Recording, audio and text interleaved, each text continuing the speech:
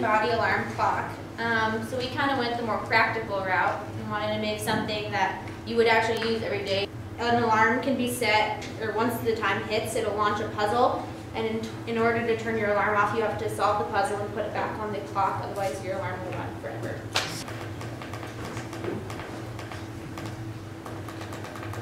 So right now I'm just setting the time, the alarm time for 9:40. We've got five seconds here until the alarm's gonna turn off.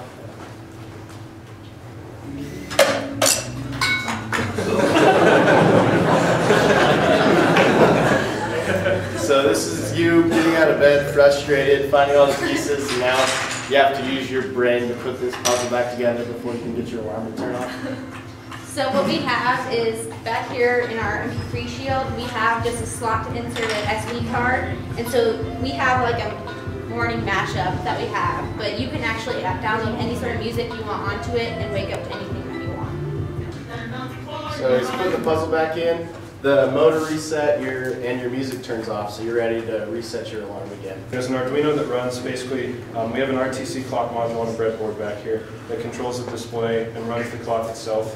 And that communicates with a second breadboard um, that holds two different PICs. One controls the motor movement to the two different positions and communicates with the Arduino. And the second PIC controls the LCD display here on the left.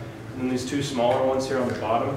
This red one that's lit just signifies that the piece is on and the motor's locked. And then the green one over here will only be lit temporarily when the alarm signal is actually being sent, and then it will be off the rest of the time. In the four corners here, we have four magnetic reed switches that are normally open unless there's a magnetic field uh, that they sense, and they're all just ran in series. So once they're all closed, we get a pulse that goes all the way through them, tells the PIC that the piece is set in the right spot, and that in turn tells the motor to reset and MP3 to turn off.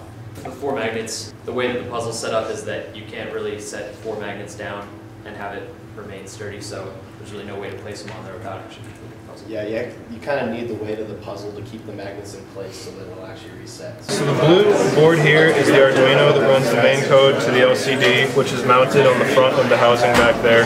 Um, and then this red board next to it is the MP3 shield that contains the SD card, which is right there, um, and runs the sound through our speaker over here. Um, and then this board here houses our two PICs. Um, this first one here does the motor communication to the two different positions, and it sends a signal to and from the Arduino to begin that movement. And then it also will send a signal to the second PIC over here um, that will begin the LED sequence here on the front wall, as well as controlling the two LCDs over there on the far wall.